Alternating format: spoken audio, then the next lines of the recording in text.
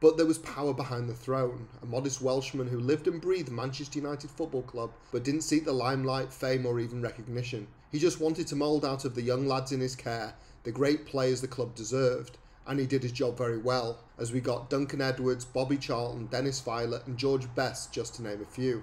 So here's to you, Jimmy Murphy.